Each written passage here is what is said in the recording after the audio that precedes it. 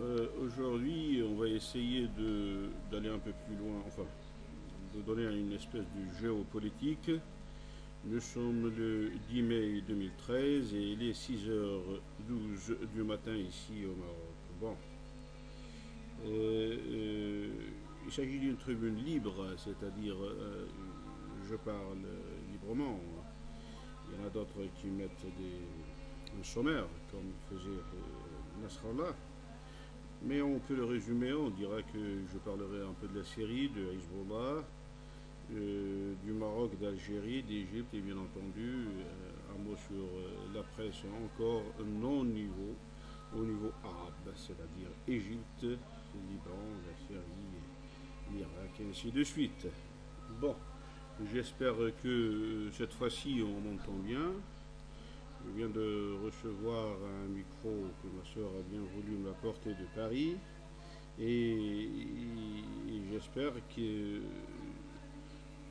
vous m'écoutiez mieux. Vous m'entendiez mieux. Mais écoutez, encore, il faut avoir une attention toute particulière pour comprendre le message. Alors, je passe directement. Et une fois n'est pas coutume, euh, sur euh, les événements de Syrie et sur la dernière attaque euh, des psychopathes d'Israël euh, euh, sur, Israël, sur la Syrie. Alors je dirais pour une fois, comme je le dis, ce n'est pas coutume, comme chantait la, chanteuse Feyrouz albanaise, il parlait que « Kullu » وحسام لحدك قاطع في غمده C'est- إن شئت تقتلني فأنت محكم من ذا يطالب سيدا في عبده Je crois que euh, Assad devrait, c'est-à-dire le régime d'Assad, comme je le dis toujours, ce n'est pas la, la personne qui nous intéresse, c'est le régime qui mène le, le bateau. Et il faut bien qu'ils qu'ils arrivent à comprendre cette, euh, cette fameuse phrase. Cette fameuse, c'est un grand poète, euh, Mutanabbi. Et ça, c'est. Ils l'ont fait ça trois fois. hein, trois fois qu'ils l'ont attaqué la Syrie. Et la Syrie, soit n'a pas les moyens de répondre, et ça c'est une chose, et c'est un fait accompli, soit il a les moyens et il ne veut pas répondre euh, suite à des petits calculs euh, infinitésimale et ça je crois que au niveau de la politique internationale ce n'est pas un bon point. Alors euh, euh, c'est-à-dire ils l'ont aiguisé à maintes reprises et, alors on arrive à la fin que Mendayo Talibu Seyyidan fait Abdi c'est-à-dire qui va essayer de, postuler pour un esclave auprès de son maître. Et ça me paraît un peu ça me paraît un peu, un peu, un peu contradictoire avec l'Europa, avec tout ce qu'on veut, euh, ce qu'on entend de la série. Il, il faut comparer, il faut avoir, il faut faire la séparation entre ce qui est politique et ce qui est euh, littéraire ou purement peuple syrien, qui comme tous les peuples, les Arabes. Mais ceux qui gouvernent, il faut bien qu'ils méditent un petit peu et dire qu'il est temps peut-être de riposter, car s'ils attendent la quatrième frappe, eh bien, les psychopathes, ils font très attention. C'est une déclaration de guerre, hein. il faut bien comprendre quand, il, quand le gouvernement d'Assad dit que la prochaine attaque, ils riposteront automatiquement. Je crois que c'est un avertissement très fort euh, lancé aux psychopathes d'Israël pour comprendre, attention, ils, euh, sont en guerre. hein. Donc c'est une déclaration de guerre. À voir euh, qu'est-ce qu'ils vont faire, le Mossad israélien, le, le gouvernement israélien, les lobbies israéliens, les lobbies juifs et tout ça, qu'est-ce qu'ils vont pouvoir faire? Ça c'est un défi, parce qu'il ne faut pas oublier que c'est un peuple, euh, c'est-à-dire ceux qui, qui prétendent gouverner, euh, ils n'aiment pas qu'on les défie. hein. C'est, un, un phénomène qui est très bizarre euh, du point de vue leur caractère et du point de vue le- euh, leur façon d'y être. C'est toujours cette façon de comprendre un petit peu les choses un peu à l'oblique. Mais ça, c'est un, ils ont lancé un défi, hein, c'est-à-dire, il bien, la, la, Syrie est en guerre, c'est-à-dire ce qui existe en tant qu'État à l'état actuel des choses est en guerre contre Israël. D'accord? Cela veut dire que les centres euh, euh, de, euh, on peut parler de produits chimiques ou on peut parler des, expériences nucléaires existent. Le terrain est tellement vaste, la série, et certainement ça existe des, des, weapons, c'est-à-dire des armes que, qui sont non conventionnelles et qui sont en train de se faire là. Mais ça, ça fait partie de tous les États qui ont un territoire et qui peuvent euh, foutre la merde où ce qu'ils veulent.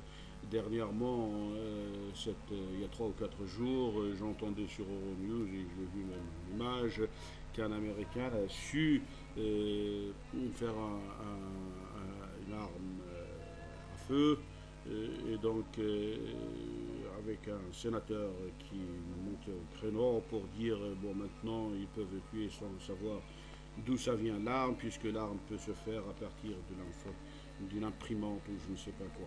Mais ce sont des choses qui existent. Alors, c'est un phénomène qui est euh, euh, un peu à côté. Alors, on se demande bien sûr si cette, cette menace est une menace expressive et explicite ou bien elle cache des choses à l'intérieur, vu que la pression été de partout, que la Syrie doit répondre à ces attaques. Ne serait-ce trois ou quatre missiles au fond même Mawara'a Wara'a Haïfa, c'est-à-dire c'est Jérusalem qu'ils appellent Forever. Et ça, ça, fait, ça donne euh, un piment à, une existence. D'accord Bon. Et quand on parle d'une quatrième attaque, euh, ils peuvent encore attaquer une autre fois et ils peuvent reculer encore une fois à la cinquième et ainsi de suite. Donc il y a des, spéculations qui vont bon train et de cette sorte. Alors, de grâce, si vous voulez répondre, vous répondez l'instant. Et puis s'il y aura une quatrième réponse, enfin une quatrième attaque, vous aurez toujours la possibilité d'arrêter, d'envoyer et de, mettre en exécution votre, votre plan. Mais euh, pour l'instant, il s'agit d'une simple déclaration de guerre. C'est-à-dire, euh, il y a euh, un, ennemi qui, qui, reste toujours collé aux Arabes et aux musulmans, et donc il, il, guette les moindres failles de ce, de ce système. Il n'est intéressé ni par le printemps arabe, ni par euh, euh, quoi que ce soit. Il est intéressé par ce qu'il avait dit et Dayan une fois que Israël, le grand Israël, va de la Syrie jusqu'à Casablanca au Maroc. Ça c'est ni plus ni moins. Et encore, ils veulent aller en Afrique noire et quitte à revoir un petit peu côté Europe et ainsi de suite. Ça, ça fait partie de leur spéculation, une spéculation enfantine. Mais enfin, pour revenir à la question de la série, je crois que euh, s'il y a une réponse, il faut l'envoyer tout de suite. Hein. Et bon, s'il rentre en guerre, eh bien vous êtes en guerre, puisque vous avez déjà fait la déclaration de guerre. Si quatrième euh, euh, riposte, quatrième attaque, vous, vous, auriez à attaquer, à répondre.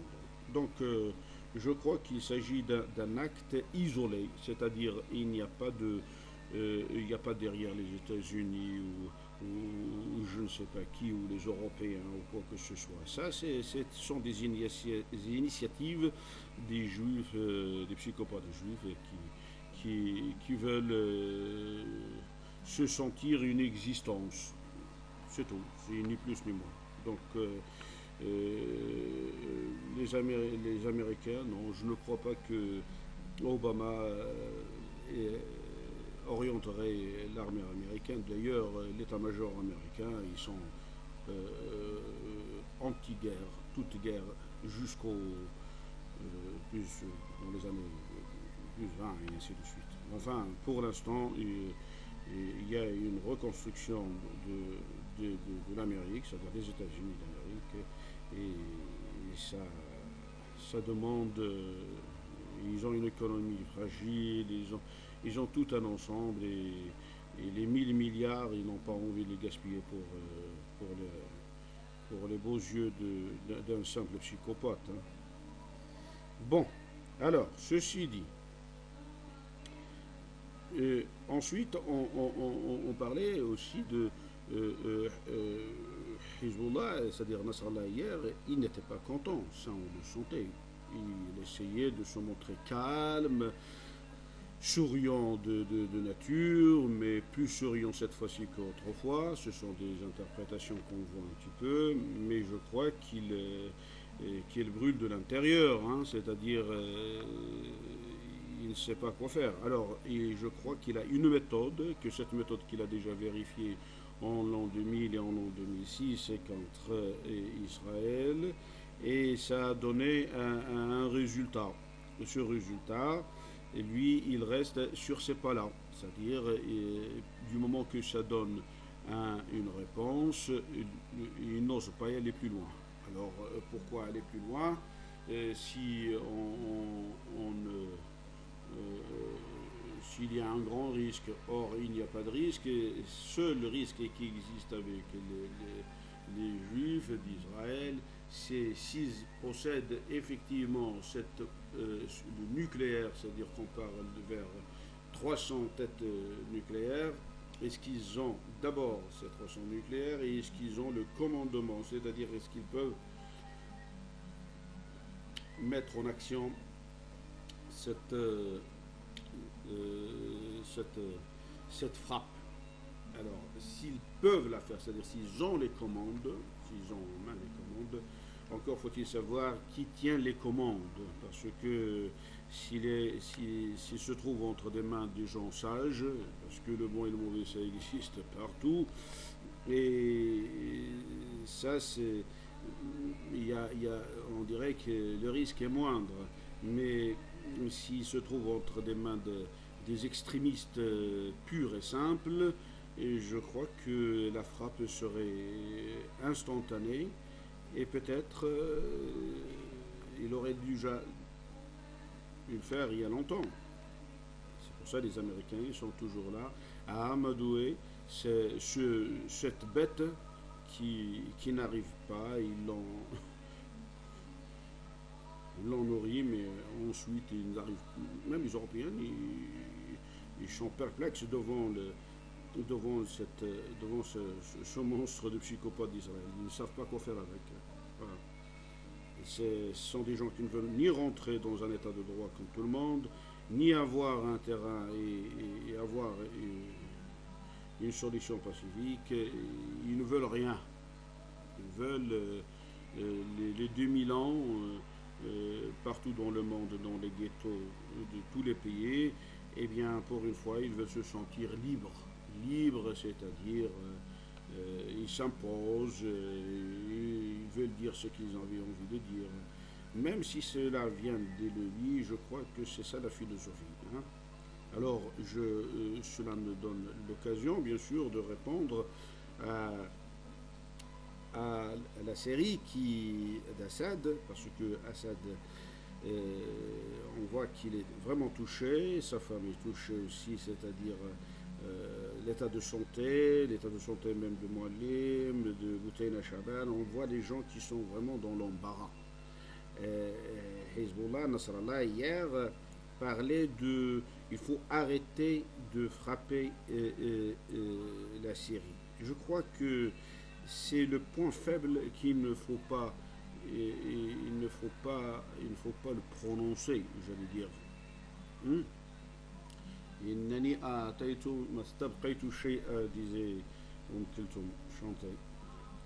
Voilà, c'est-à-dire, c'est là où, le bas blesse. Quand vous commencez à prier, à supplier, je dire, les, euh, l'opposition armée ou, quoi, une opposition armée qui est sous, sous, sous contrôle des États ou sous contrôle des organisations, euh, il me semble qu'il euh, y a une faiblesse qui se dégage. Hein. Je crois qu'il ne fallait pas demander qu'ils s'arrêtent. Et s'ils veulent s'arrêter, c'est qu'ils ont un intérêt de s'arrêter. S'ils ne s'arrêtent pas, ils n'ont pas d'intérêt d'arrêter. Et je parle de ça de l'ordre 1 à l'ordre n, c'est-à-dire l'ordre 1, je vous donne l'exemple qui est très simple, le mien si j'ose dire, j'ai des caméras plantées chez moi partout, hein, et, j'ai partout fait savoir, il faut qu'ils arrêtent de m'emmerder, laissez-moi vivre, et, si vous avez quelque chose à dire, eh bien vous le dites, et sinon, laissez tous les citoyens libres. Mais on ne sait pas pourquoi ils, ils prennent en, vidéo. D'ailleurs, euh, euh, vous pouvez vérifier auprès des, chaînes de télévision Almanar ou bien Al-Masriya ou Al Jazeera ou je ne sais pas, ou même des chaînes françaises hein, sur, euh, je ne sais pas moi, BFM et, et, Télé, France 24, enfin c'est-à-dire France 2 et ainsi de suite, ou France Culture en radio.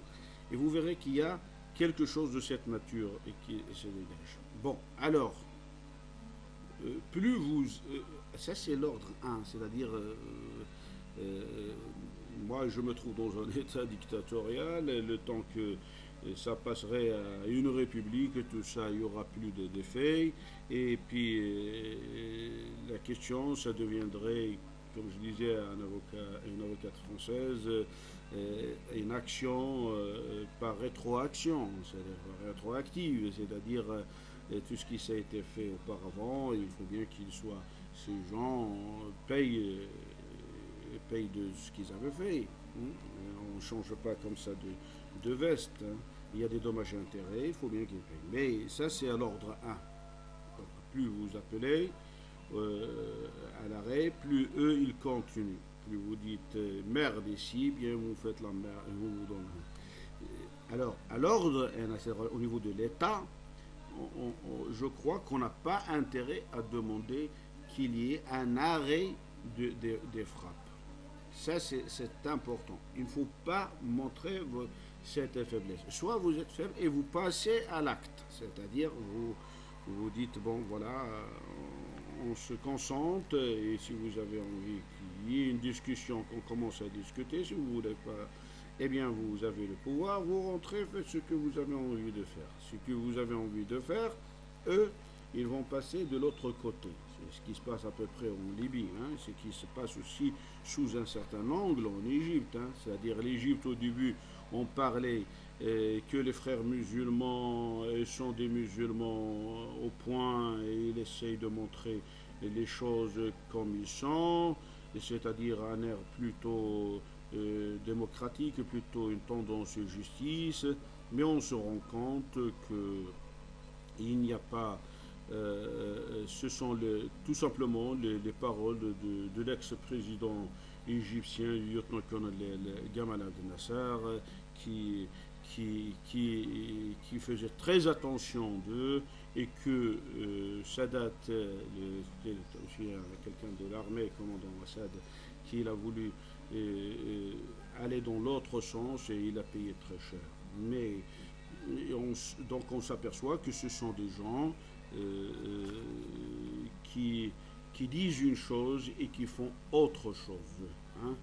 Alors, au début, on parlait bien sûr de, l'annulation des accords de Camp David, ce qui est une chose normale, et dès le début, on ne voulait pas. D'ailleurs, euh, celui qui a tué Assad, c'était un des frères musulmans qui ne voulait pas, suite justement à la visite de Sadat à, Israël en 79 et les accords de 79 et ainsi de suite. D'accord.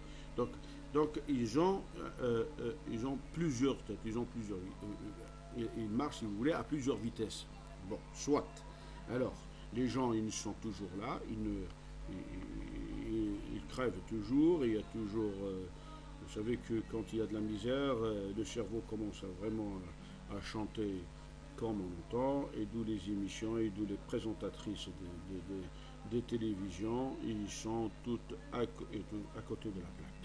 C'est-à-dire, ni niveau, ni quoi que ce soit, on n'ose même pas euh, critiquer de fond la version. Alors, ça ne sert à rien de faire les, bébés de show euh, euh, à l'égyptienne, parce que les show en France, la France est un état de droit, et depuis 1789, il y a un, modèle qui n'est pas le même. Hein. Il y a une démocratie et les gens peuvent dire merde, et puis ils obtiennent un gain de cause. hein. Dernièrement, ce matin-là, j'ai entendu dire euh, François Fillon, euh, ben, il voulait euh, à tout prix reprendre le flambeau de la droite contre Copé. Enfin, il y a une espèce de démocratie. hein. Il y a des gens qui, qui, bougent. hein. Alors, on attaque bien sûr François Hollande sur sa politique. On dit que la gauche au pouvoir, c'est c'est toujours la gauche caviar. Enfin, il y a un système et puis il y a des résultats. Il y a le pouvoir d'achat qui est toujours là, il y a le niveau de la consommation, il y a, il y a, il y a, les citoyens ne se sont pas à côté de la plaque. Or, en Égypte, comme dans tous les pays arabes, dans les 22 pays arabes, les gens sont à côté. C'est-à-dire, il n'y a, rien. Ni sécurité sociale, ni un, SMIC, ni, encore on peut parler qui on peut faire comme l'Allemagne, il n'y a pas de SMIC, hein, mais à 400 euros, tout le monde peut vivre. hein. Ici, on leur donne euh, à une présentatrice de journal euh, 70 et 80 euros, euh, avec euh, la viande qui coûte euh, euh, dans les, les 10 euros le kilo. Je ne crois pas que. Ils sont des mannequins malgré eux. Mais euh, ça, c'est ce que je dis, c'est-à-dire, euh, euh, c'est la méthode de, d'appuyer sur la personne, d'appuyer sur, sur un État. Quand, comme il disait, je crois, Goebbels, dans la, Seconde Guerre mondiale, il faut matraquer, il faut, envoyer de la sauce. Et après, vous avez le résultat. hein. Ça, c'est, c'est un résultat qui n'est pas garanti à 100%, ça dépend des échelles, hein, ça dépend des États. Par exemple, le- comme je vous ai dit en Égypte, le Hosni Moubarak est toujours là-bas. Bon, ben, euh, il n'y a pas de, quoi s'inquiéter.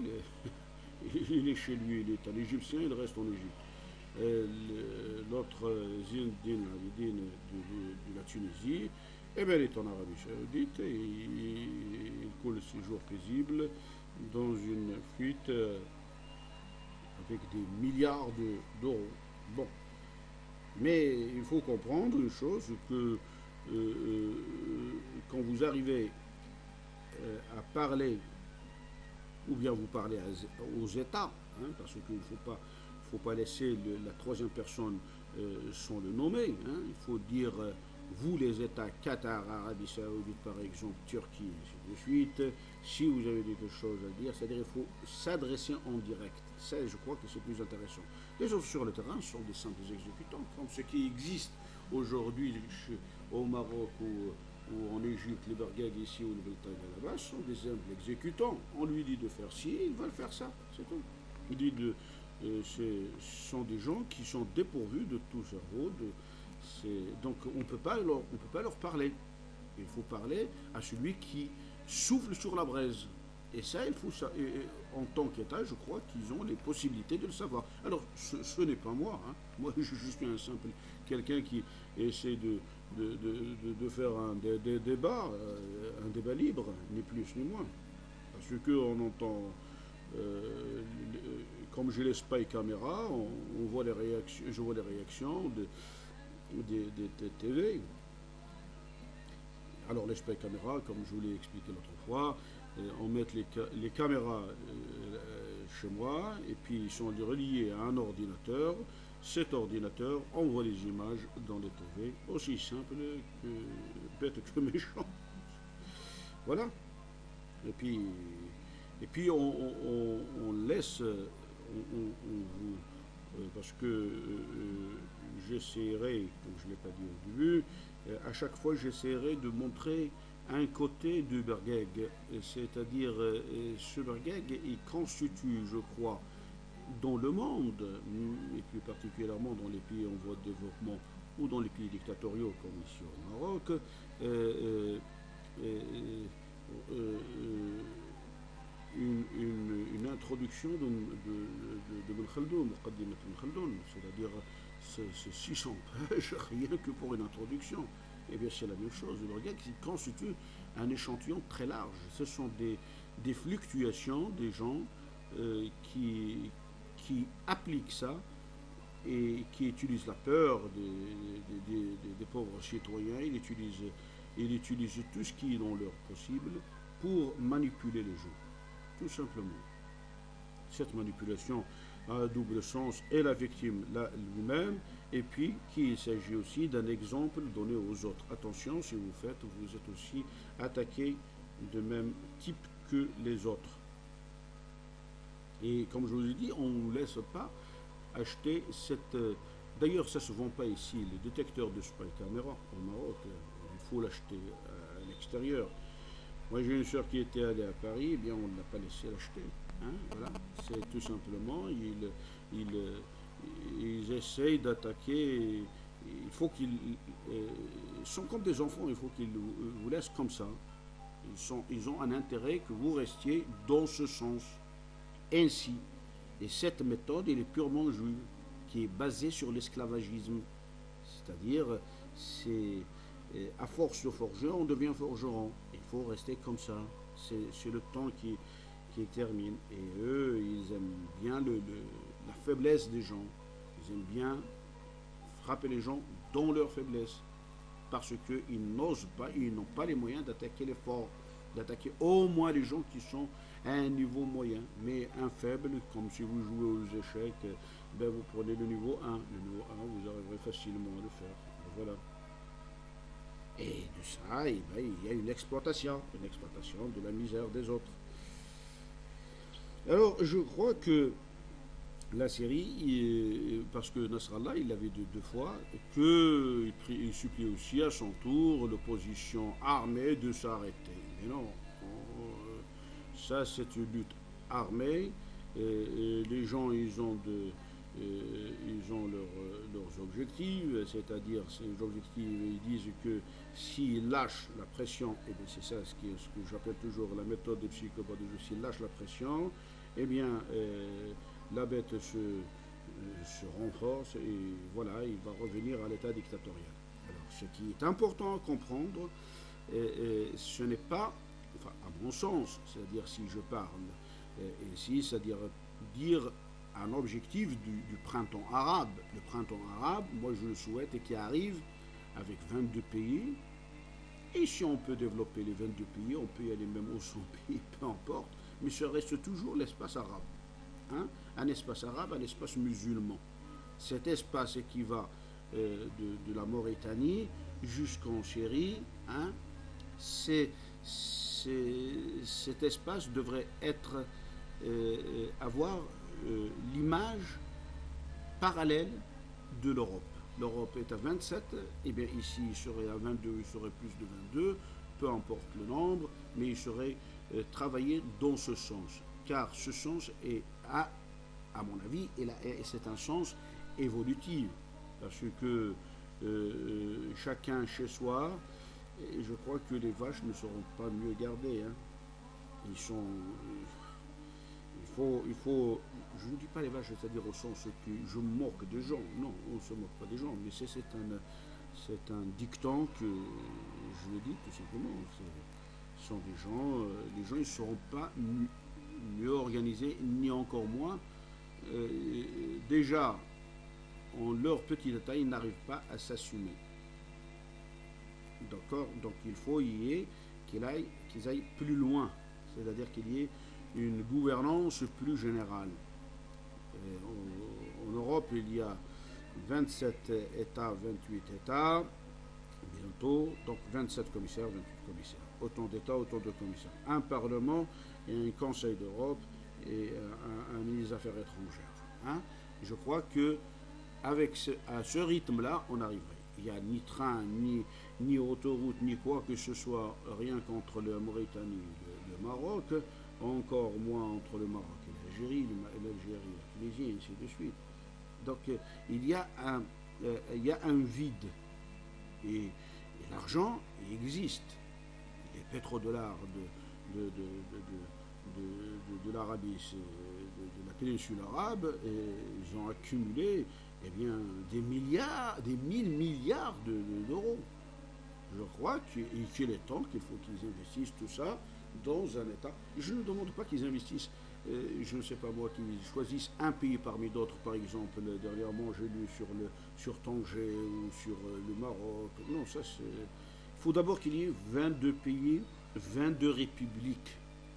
Hein, et tous des républiques, républiques j'allais dire, où il y a un état de droit.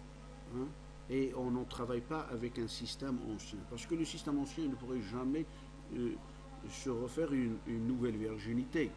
Hein. Il est déjà connu dans ses services, il a, il a, il a, ses services, il a, il a sa sphère et il ne peut jamais travailler dans un état de droit.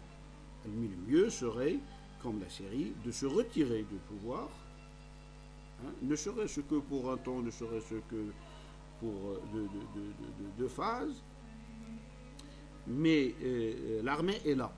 L'armée, heureusement, qui est la seule institution qui est indépendante et de l'opposition et de la majorité, qui peut mener la démarche vers une réconciliation ou vers un, un, nouveau gouvernement.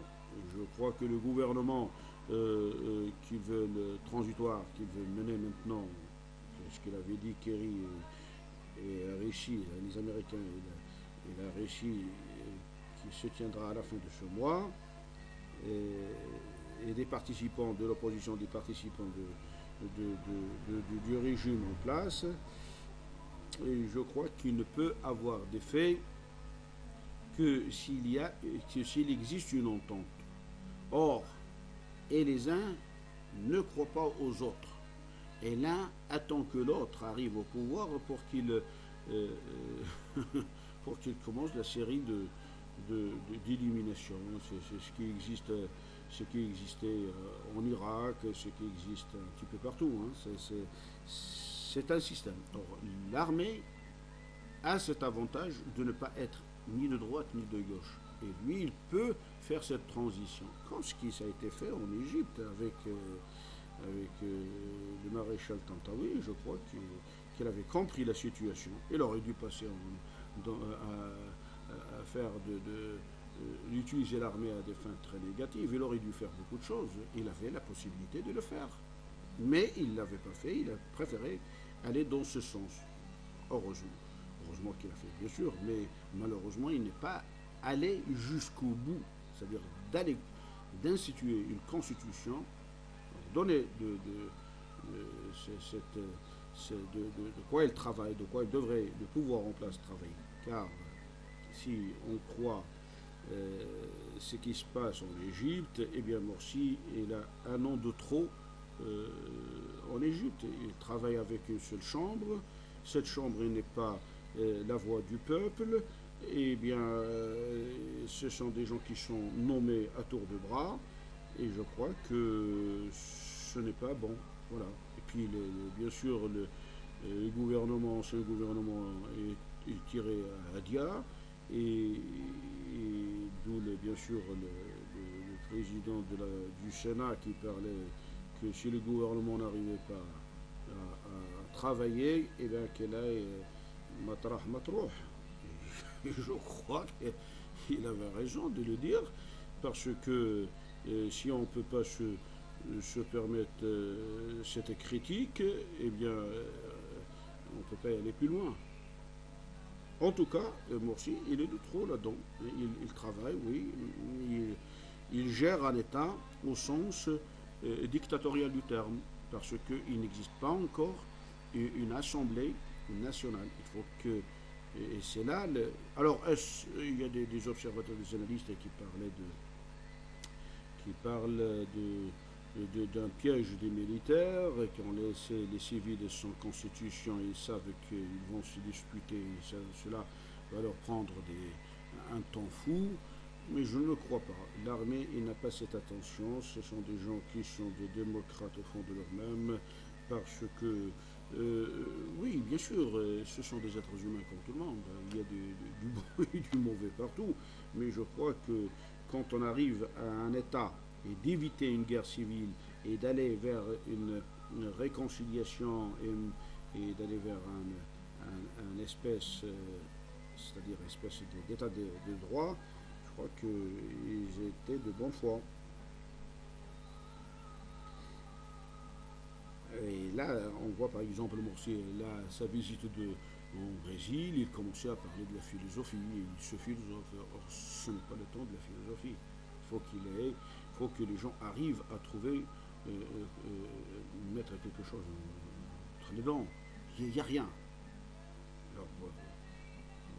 Même au, au, niveau de leur structure, ce sont des gens qui se recroquevillent sur eux-mêmes. Par exemple, si vous voyez les, télévisions, les, présentatrices, c'est rare que vous voyez les noms de, la présentatrice. on dirait que je ne sais pas qu'est-ce qu'ils cachent, c'est un secret de polichinelle. Ou bien si vous téléphonez à Massaria, vous n'arriverez jamais à trouver le bon poste. Ça tourne autour du standard. Hein, et vous n'arriverez jamais à discuter non plus dans une émission, c'est si ce n'est très rare. Hein, très rare ou bien ils mettent le numéro de 09 qui est très particulier pour l'Égypte, alors que la chaîne est vue dans le monde entier. Hein, les gens de l'Amazon qui peuvent contacter, qui peuvent faire les, eh bien, ils n'ont pas le droit. Donc c'est déjà cet état de démocratie qui n'est pas frappante chez eux. Hein. Alors, euh, euh, et quand vous regardez par exemple les émissions qu'ils donnent, eh bien, ils sont un, peu à côté de la plaque. Hein.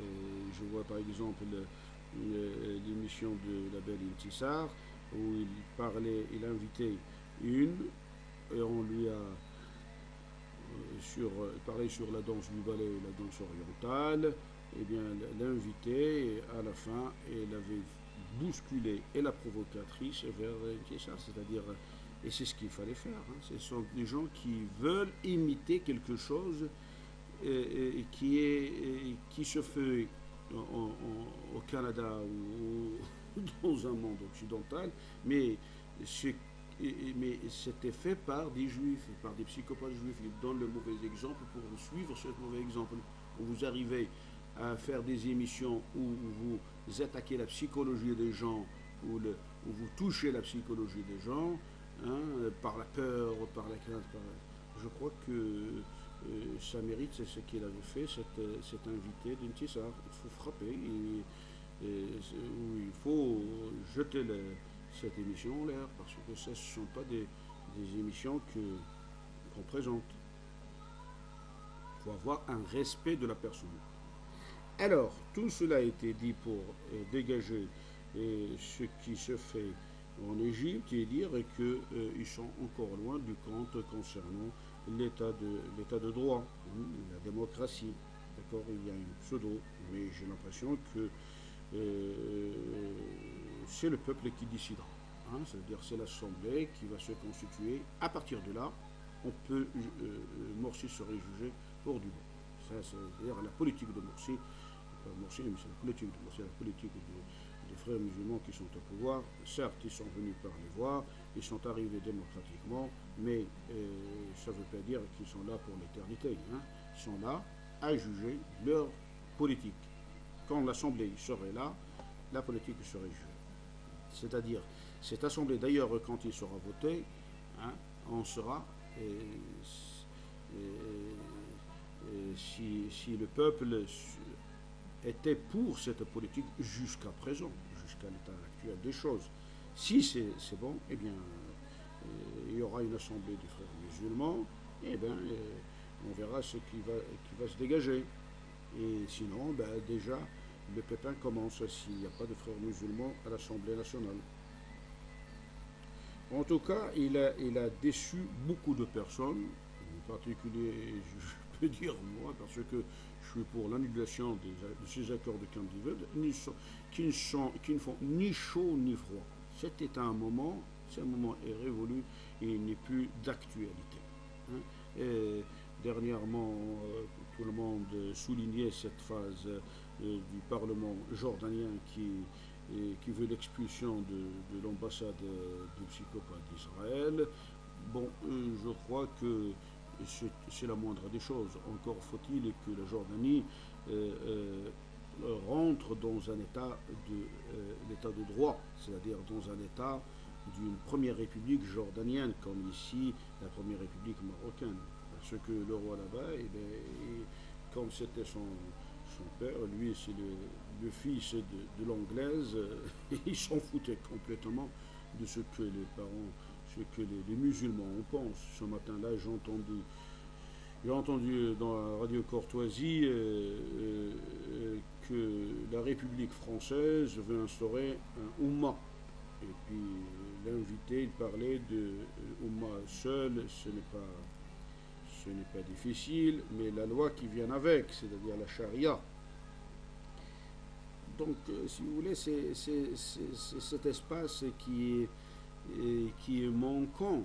Hein. C'est-à-dire, euh, bon, le Parlement veut s'exprimer, tant mieux, mais si les chiens aboient et la caravane passe, ça n'a pas de sens. Hein. Le roi, bien sûr, il ne va pas l'accepter. Hein. S'il l'accepte, il l'accepte de gré, et puis ça va être dicté par euh, Mossad, comme ce qui se passe en France avec euh, Laurent Fabius. Quand Laurent Fabius euh, parle, eh bien, il suit sa cellule juive et qui suivent la cellule, qui suivent les, conseils du Mossad. C'est tout. C'est, on, sent la personne. Et d'ailleurs, euh, à l'occasion, je crois que je crois que n'est pas à son poste. Laurent Fabius, oui, c'est, un. Disait de lui Mitran, François Mitterrand, l'ancien président de la République française, euh, Laurent Fabius est un gratin. Suite à la visite de Jaruzelski en 86, je crois, hein, François Mitterrand avait une vision très très lointaine, et l'autre c'était un petit enfant. D'ailleurs, il n'avait ne s'est pas trompé. Du Premier ministre, il cherchait le poste de responsabilité, il a fait le ministre de l'économie, mais il n'arrêtait pas de tourner, pourvu qu'il veut rester dans le, dans les sièges. Et puis la, société française avait compris que ce que c'est que le lobby juif, alors il donnait deux, un, deux, trois postes aux juifs. Voilà. Alors, euh, allez prendre le ministre des Affaires étrangères, qui il n'arrive pas. Je crois que ce poste devrait être donné, à mon avis, hein, euh, quelqu'un qui est plus équilibré, plus, euh, plus, plus, je ne parle pas de l'expérience au sens, propre au sens figuré du terme, mais c'est quelqu'un qui, qui, sait où il met ses, c'est-à-dire c'est quelqu'un qui, qui, est, qui est plus équilibré. Voilà. Je, pense par exemple à,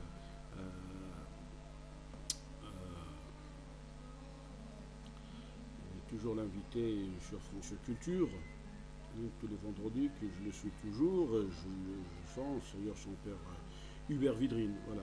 Et son père était aussi un diplomate, donc je crois que c'est un type qui, qui mérite ce poste. Alors, on ne peut pas le mettre tout de suite à la case, il n'est pas vieux, hein, parce que je l'ai entendu l'autre jour, euh, euh, François Hollande parler de, de, de, ces, éminences grises, non, il faut les, il faut les faire travailler. Oui, il y a un poste de responsabilité, lui, il peut faire ça.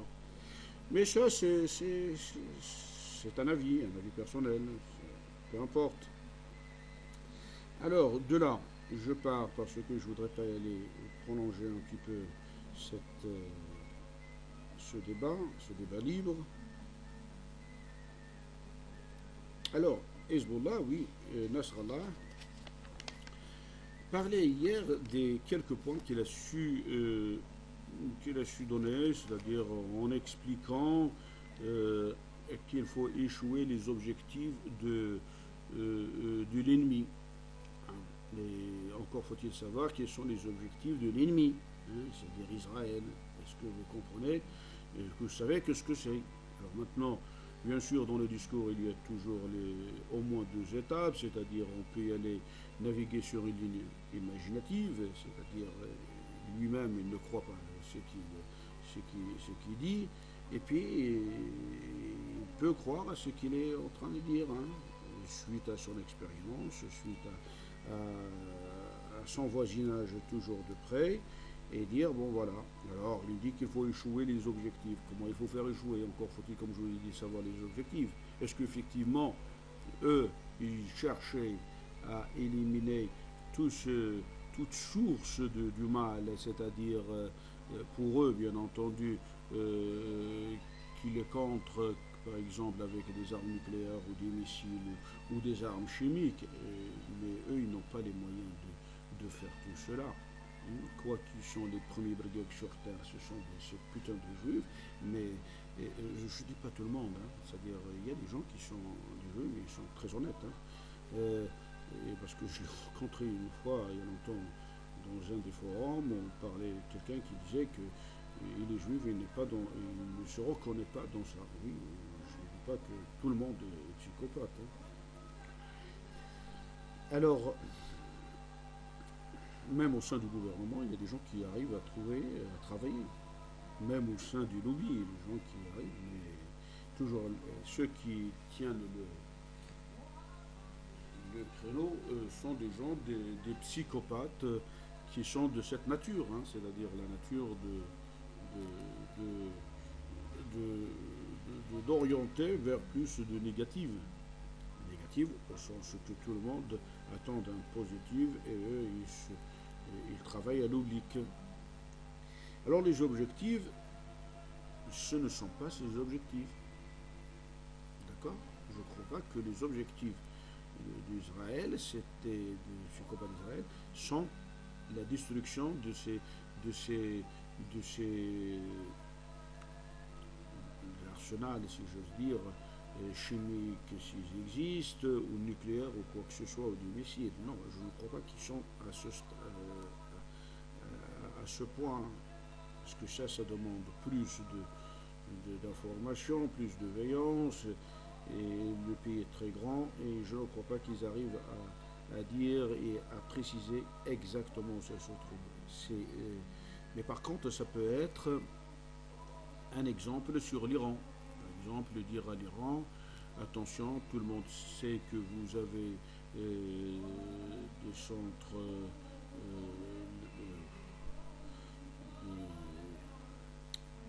nucléaires, tout ça, à côté de Téhéran, donc ils savent, ils veulent, ils leur donner l'exemple que je peux attaquer vos centres. Je peux attaquer les centres qui sont connus de tout le monde. Hein? Je sais pas, il y, en a, il y en a plusieurs en Iran, mais ils disent au moins ils vont attaquer un ou deux. Ils peuvent faire ça. Hein? Ça, ça, ça peut être l'objectif réel. Mais dire que c'est contre la Syrie, je ne crois pas. Parce que s'ils voulaient attaquer, là, ils attaquer plus loin. Mais ils n'ont pas les moyens non plus. Israéliens, c'est pas un peuple qui, euh, tu peux compter. Et pourtant, ils sont dans un état où, l'autre jour, je vous ai montré les, figures, enfin, c'est-à-dire le schéma des salaires moyens dans tous les pays arabes, dans les 22 pays arabes. Il y en a trois qui dégagent un bon salaire, qui équivaut au salaire européen et même mieux sont Sultanat Oman, Bahreïn et Koweït. Eh bien, eux, Israël aussi, ils sont dans ce créneau. Le salaire minimum, il est de 1700, je crois, euros par mois aux citoyens de, ce, de cet État fantôme, cet État imaginaire, parce que, les gens ne voient pas l'existence de cet État, c'est tout. C'est-à-dire il faut qu'ils trouvent un État, un autre projet, le, désert de Namibie, même les Américains ne les acceptent pas au Texas. Hein. D'accord? Bon, ceci dit, comme je l'ai dit, l'objectif n'est pas pour la Syrie. Mais si la Syrie est attaquée, il était certain que, euh, comme il a été attaqué trois fois, euh, on ne se reconnaît plus comme arabe, parce que la Syrie n'avait pas répondu. Et beaucoup de personnes. Ils ne se reconnaissent même plus en tant que musulmans, parce que la Syrie n'avait pas répondu. Bien que la Syrie est en conflit interne, il fallait bien qu'ils répondent à, cet acte. Parce que cela euh, donne un point positif euh, euh, au futur, à l'avenir. C'est-à-dire, je ne dis pas que c'est avec ce gouvernement qu'il faut y aller plus loin. Non, ça n'a pas de sens. Et, puis, lui-même, Assad disait que personne n'est éternel à ce poste. bon, ben, il faut l'appliquer. hein. C'est-à-dire, euh, je- il a ses qualités, il a ses, défauts comme tout le monde. Le régime aussi, il a ses qualités, il a ses défauts. Mais je crois que pour aller plus loin, dans mon sens, à moi, du printemps arabe, comme je le considère, il faut bien qu'il y ait un changement de, donne. hein. Il faut bien qu'il y ait une autre équipe qui arrive au pouvoir, d'autres personnes, euh, peut-être euh, restent à l'intérieur, comme euh, euh, ce qui se passe en Irak, euh, euh, al-Ba'ath de Saddam Hussein, eh bien, ils retournent au pouvoir et, rien ne les empêche. Ça y est, les, cartes sont brassées et il faut, il faut retravailler. Ils ne sont pas des citoyens, non-citoyens. Ils avaient des sanctions, ils avaient avoir des sanctions, et bien c'est tout, et on passe aux choses suivantes. C'est-à-dire, la Syrie, c'est dans son ensemble, pas dans sa, euh, particularité ou ses particularités. Euh, une opposition plutôt qu'une majorité, ou une majorité plutôt qu'une opposition. Tout le monde est bon dans cette opposition. Tout le monde est bon dans cette majorité.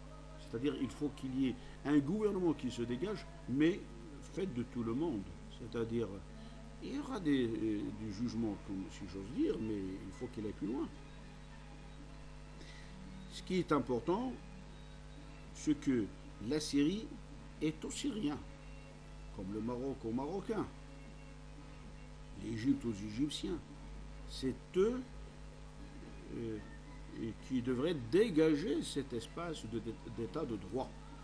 Alors, il y va de soi, comme je vous l'ai dit, il y a des gens qui, euh, sont pour, il y en a d'au- d'autres qui sont contre. Il y en a des gens qui ont travaillé toute leur vie, euh, comme la Boudf à la série, tout le temps les Hizb al-Ba'ath, et bien l'autre jour, ils se disaient pourquoi al-Ba'ath Qu'est-ce qu'il a fait Mais Je veux dire, Hizb al-Ba'ath, il a, il, a, il a planté tout le monde.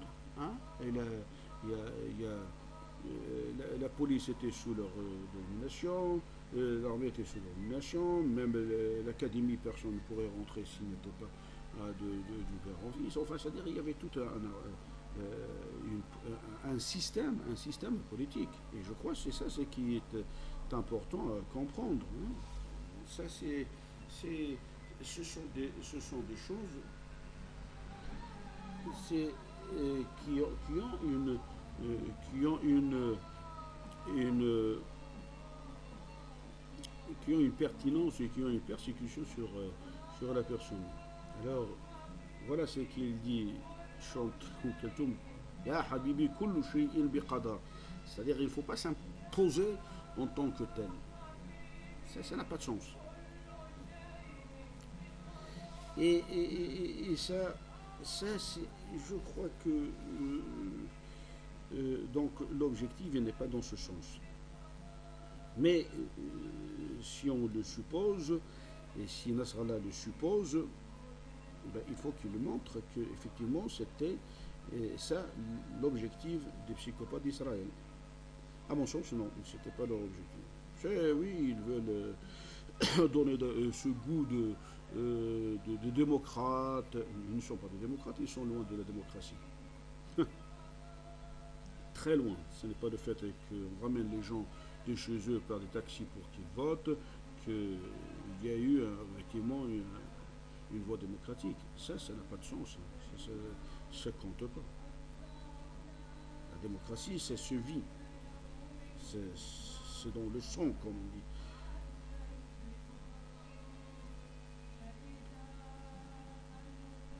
Alors, euh, euh, bien sûr, Hezbollah, euh, il- est pour ce que présente ce que présente le Assad comme argument, c'est-à-dire cette argumentation qui consiste à dire que la frappe n'est pas pour tout de suite, elle est pour après, et si le- Israël avait peur que les armes, euh, Nasrallah recevra une bonne part, eh bien, Assad, va donner ses armes. Est-ce que Assad a donné ses armes ou est-ce qu'il les a jamais données ou est-ce qu'il les donne? Je crois qu'il les a déjà données, donc ça ne sert à rien de dire qu'il ne donne pas. Et il ne va pas redonner pour encore une fois. Et si les armes chimiques euh, existaient, parmi euh, euh, ce qu'il avait reçu, il avait reçu aussi les chimiques, il avait reçu tout. puisque c'est comme l'Iran qui donne. Maintenant, au lieu qu'il donne, il faut qu'il s'occupe directement de, de, ce mal qui est Israël, c'est-à-dire soit il faut rentrer en, guerre complètement. faut le, eh bien, ce sont des frappes, comme, eux ils frappent, il faut frapper, c'est tout. On cherche le casus belli, et puis s'il faut y aller plus loin, il faut y aller plus loin. S'il faut euh, généraliser, il n'y a, il a que l'État dictatorial qui a peur de la généralisation. Dans tous les, les États démocratiques, la crainte ne vient pas de là. La crainte vient d'un système plutôt économique, plutôt la misère de tout un peuple, mais pas autre chose. Mais quand il décide, c'est une décision. J'envoie, j'envoie, je travaille, je travaille. L'Afghanistan, ils sont tous là-bas. Hein, c'est-à-dire, c'est, personne ne craignait euh, euh, leur position en tant que telle, parce que tout le monde, ils sont là par la volonté d'un peuple. Hein. Brown était avant, Cameron maintenant, euh, avant c'était Nicolas Sarkozy, maintenant c'est François Hollande, et puis voilà, c'est-à-dire personne ne craint pour lui-même. Or, dans les États dictatoriaux, ils craignent pour eux-mêmes, pour leur palais, qu'ils soient royal, royaux ou bien les présidentiels, mais ça revient aux mêmes. Ce sont des gens émirates. Hein. D'accord. Donc, euh, euh, euh, donner cette, de, donner ses, armes à Nasrallah, Nasrallah, il en a, il en a, il en a, il en a meilleur même.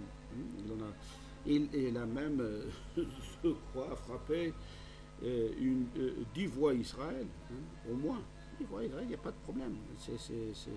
il a de quoi. Seulement, il est encore sur ses gardes. Alors, d'où on serait savoir d'où ça vient l'ordre aussi? Est-ce que c'est de même ou bien c'est l'Iran qui appuie aussi Syrie peut-être, je ne sais pas. Alors il y a un troisième point qui parlait, qui était très intéressant aussi, que maintenant il rentre au Golan pour la libération du Golan par la voie de la résistance, comme lui il avait fait euh, au, Liban. D'ailleurs il n'a pas encore terminé parce qu'il y a encore les fermes de Sabra et enfin, je ne sais pas comment ça s'appelle. Voilà,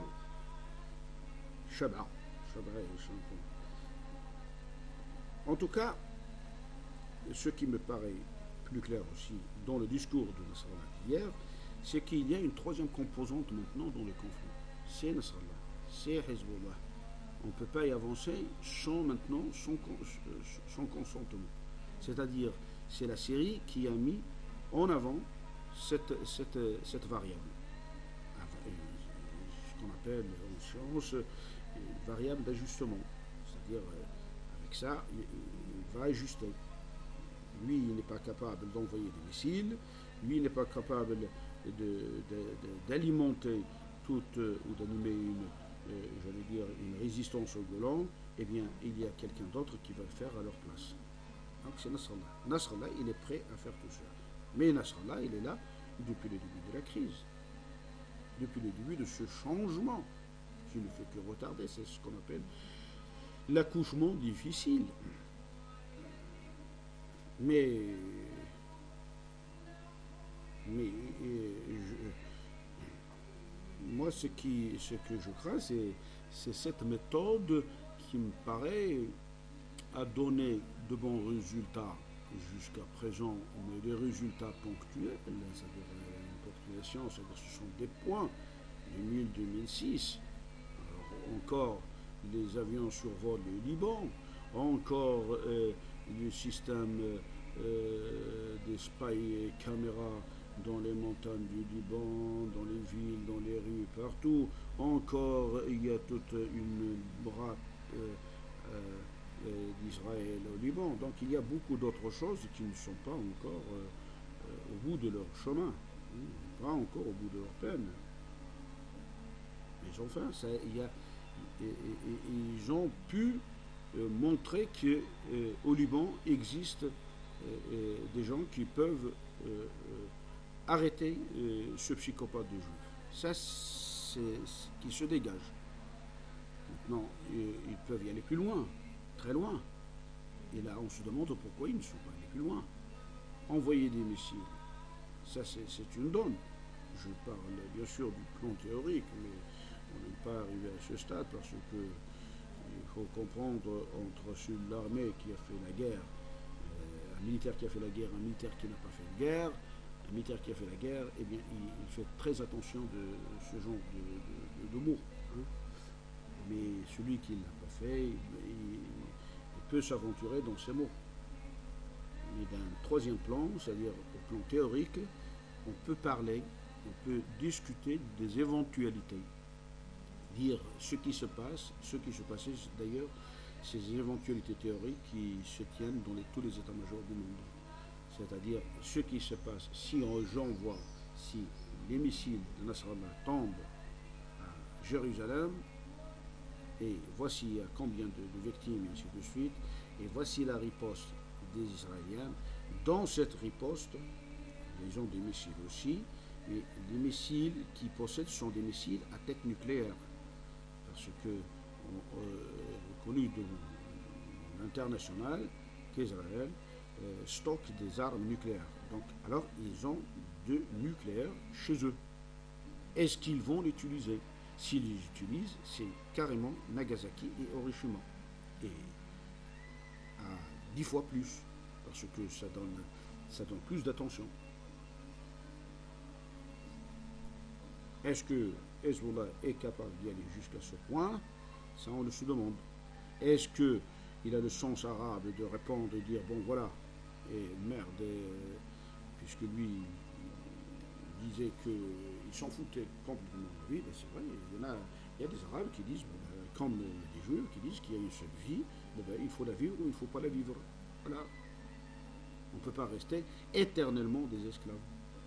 Si on est obligé de partir, on est de partir. Alors partir plus tard ou partir tout de suite, ça revient au même. Donc il vaut mieux qu'il fasse quelque chose. S'il le fait, eh bien, ça serait une bonne étape. Si Iran le fait, ça serait une fête. Parce que j'ai entendu dire l'autre jour aussi que l'Iran peut y aller plus loin dans ce sens. Oui, d'accord, mais qu'est-ce qu'il peut faire? Entre les paroles et le faire, il y a deux choses différentes. On peut parler, on peut discuter, on peut dire. Mais faire, c'est un autre phénomène. Hein.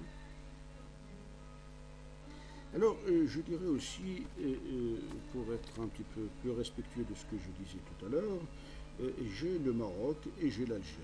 Alors, le Maroc, dernièrement, c'est-à-dire, je crois, la semaine dernière, où la résolution de, l'ONU est passée, qui, qui n'est pas passée pour organiser donner le feu vert à des, ONG de, contrôler le droit de, droit l'homme au Sahara occidental. Parce que euh, occidental, c'est comme son nom l'indique. Euh, le Maroc se trouve dans l'Occident par rapport à la Tunisie, par rapport à l'Égypte. Ce Sahara se trouve à l'Occident par rapport à la Tunisie, par rapport à, l'Égypte. Donc c'est un terme qui est correct. Ne veut pas dire que euh, le Sahara est pour les Sahraouis ou pour les Marocains. C'est un débat qui est de fond. Parce qu'il ne faut pas oublier que euh, nos soldats marocains, ils avaient souffert. Il y en a même qui sont passés, qui sont restés là-bas euh, depuis qu'ils sont sortis de l'académie Hein. Ils ont fait 37 ans, ils sont maintenant à la retraite. Ils n'ont jamais vu la capitale, ils n'ont jamais vu l'autre. Ils sont restés là-bas, à Fumersen, à Lyon, à tout ça. Et c'est carrément un changement. Est-ce qu'il n'y a que la guerre des, des, 30, ans et qui a duré un temps fou hein? Et ça, c'est une guerre sans. Euh, n'a de, de, guerre que le nom. Il n'y a pas de guerre. Il y a des, gens qui, qui, frappent et qui reculent. Donc alors, pourquoi l'armée est là? Pourquoi toute une partie, une bonne partie de l'armée est là-bas? Dû, bien sûr, à d'après le coup d'État de 1971, qui a été mené magnifiquement par le colonel Chouat et le général Khir, par la suite. Hein, et pour se débarrasser de ces anciens militaires de l'armée française, parce qu'ils avaient tous fait l'Indochine, ils avaient tous fait le Vietnam, et Vietnam, c'est l'Indochine plutôt, et, la Seconde Guerre mondiale, c'était des gens qui, des militaires qui avaient la démocratie dans le sang. J'insiste que existe aujourd'hui, et ils sont qu'autour aujourd'hui dans l'armée marocaine, qui ont cette, cette conditionnalité de rendre le Maroc plus démocratique. Mais il faut se débarrasser de ce brigade. Il faut se débarrasser de ces gens qui sont partout des, cette, cette, vermine de, de, C'est ça ce qui est important. Alors, quand on voit ce qui se passe maintenant là-bas, on voit que euh, euh, la politique internationale donne, donne le, euh, plus d'avantages aux Sahraouis, parce que chaque fois il se révolte, que chaque fois il provoque la force de l'ordre, et bien entendu, la force de l'ordre n'a pas. Donc, soit que la provocation n'est pas énorme, mais la force d'ordre n'a pas le droit de, toucher. Je crois que c'est un, geste. Et, j'ai vu euh, il y a 4 ou 5 jours un, clip vidéo de, 44 secondes où à Tanger, il y avait une stafette de, police qui suivait un des protestataires pour l'écraser. Ce vidéo existe sur YouTube. et et ce, et ce, policier qui conduisait cette estafette, cette estafette, c'est-à-dire cette, camionnette de police, il n'avait pas le droit de faire le quoi que ce soit. Parce que c'était. Ils ont un renfort et il y avait deux ou trois estafettes qui sont passées devant lui. Hein. et puis, lui, par le hasard des choses, ben, il a voulu commencer à éliminer à son tour. Donc, les ordres qui venaient d'eux-mêmes ne venaient pas euh, euh, d'un ordre plus supérieur. Lui-même, il voulait éliminer celui-là. Pourquoi pas? Ça veut dire que le Maroc, il est divisé en deux. Il y a un État qui s'en fout complètement, hein, et il y a un sous-État, c'est-à-dire l'État dans l'État du palais royal. Et là, les gens qui, sont, qui, a une, qui ont une occupation euh, du vol et la richesse du Maroc et le pétrole, et le phosphate, et le poisson, et tout ce qu'on veut, s'occupent. Et ils donnent le feu vert aux brigades qu'ils foutent la merde. Ce sont des gens, des campagnards de, n'importe quelle race, et, pas de niveau, rien du tout. Et ils, emmerdent les gens. Ils font ce qu'ils veulent. Au nom de la sécurité de l'État. Au nom de, euh, de, défendre le palais royal. Au nom, ils foutent la merde. Vive l'Europe qu'est-ce qu'il vient de faire Un putain de con, un roi de. Qui, il l'appelle roi de Fouqara, mais les 700 milliards d'euros. Alors, je me demande qui est le, le, riche. Hein Et André Zola, c'est un juif, un, conseiller économique par-dessus le marché, 86 milliards d'euros. Qu'est-ce que ça veut dire tout ça? Donc, euh, c'est, alors, il est partagé en deux. Il y a un pouvoir en place, et bien il y a le brigade. Le brigade, il y a la liberté d'action. Te foutent la merde, ils mettent les, les, les, les spy caméras chez les citoyens, ils ont des entrées dans les hôtels, ils font ce qu'ils veulent. Et personne ne pourrait leur dire le quoi que ce soit. Mais bien entendu, si sont coincés, alors il y a deux cas de figure, soit ils les échappent, hein, c'est-à-dire ils vont les faire fuir ailleurs, et soit ils vont les attaquer eux-mêmes, ils attaquent les bébés. Mais on vous a dit, c'est-à-dire selon la fameuse phrase,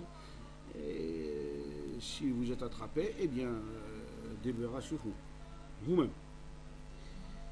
Alors, suite à cette euh, non-résolution, parce que la résolution est toujours sur la table à l'ONU, parce qu'à tout, à tout moment, il, euh, ça peut, faire surface. et, à force de faire, euh, force de manifester régulièrement, eh bien, euh, l'attirance de, l'opinion internationale, elle est pour du bon. Hein. C'est-à-dire les gens vont se rencontrer et vont s'aller à l'évidence que effectivement il s'agit d'un peuple qui est démuni, qui vit dans, des camps, c'est-à-dire démunis, et, ils ont, ils ont une terre, ils ont besoin de cette terre. Mais quand on demande une indépendance, il faut d'abord ne pas regarder du point de vue économique.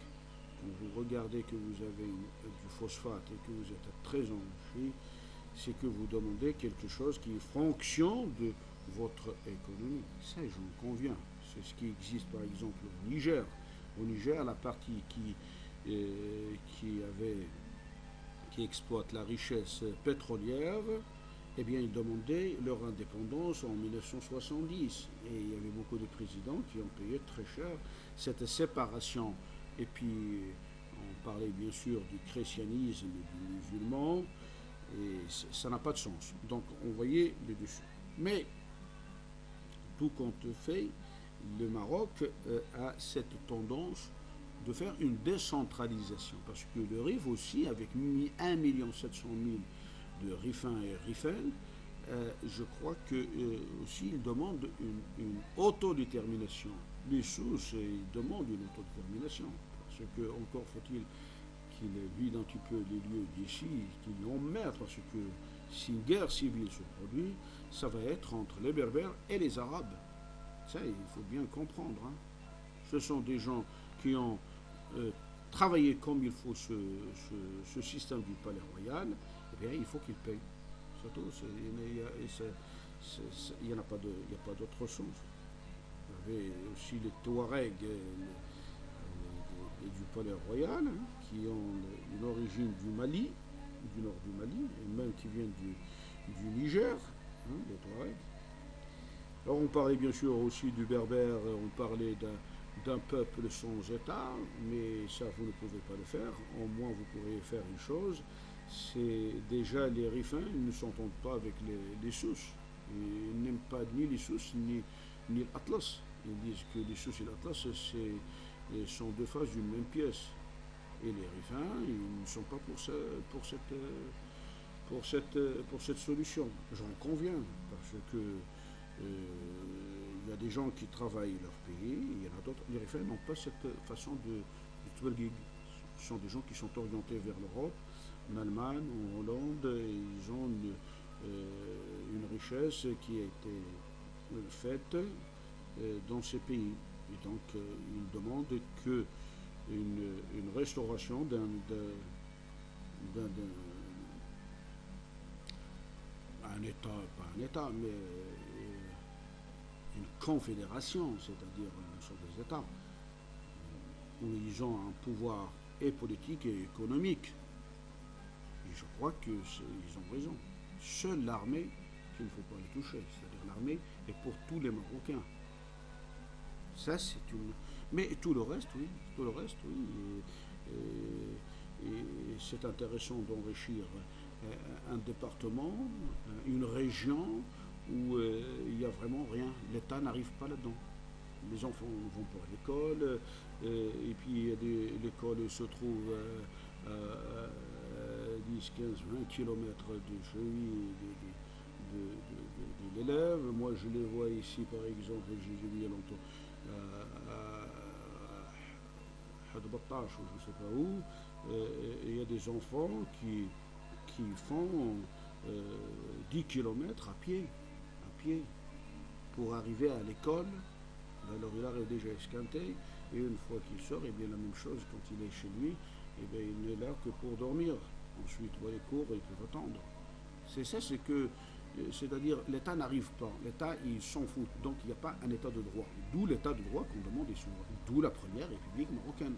C'est-à-dire, c'est, il n'y a pas de mystère. C'est-à-dire, ce système qui va, il est intéressé par cette méthode de travail. Il veut euh, cette façon de travailler. Il veut la corruption. Il veut, d'ailleurs, euh, je crois que c'est Assad qui l'avait dit une fois, aux militaires même. Il a dit voici le Maroc, on va le partager. C'est simple. Et, ben, puis ça a été la création de cette pyramide où euh, toute personne, euh, quelle que soit dans la société, il y a une, euh, comment dirais-je, une, une, une, une espèce d'appartenance à quelqu'un. Même le Maroc, vous avez des gens qui sont des Marocains, sont des musulmans même, et, il y a une appartenance, par exemple, à André Zola. Hein. Il y a des, gens qui ont une appartenance, euh, euh, je ne sais pas moi, à la, princesse ou, un, ancien ministre, ou qui sont dans les entourages du régime, qui sont des gens qui sont dans les milliardaires, hein. ou bien euh, des, généraux qui sont à l'intérieur du palais royal, qui ont ni guerre ni quoi que ce soit. Ils sont là pour le maintien de ce système. Alors, la moindre des choses, il faut qu'ils arrivent quand même à comprendre que ce que c'est que le système. Le système ne donne rien.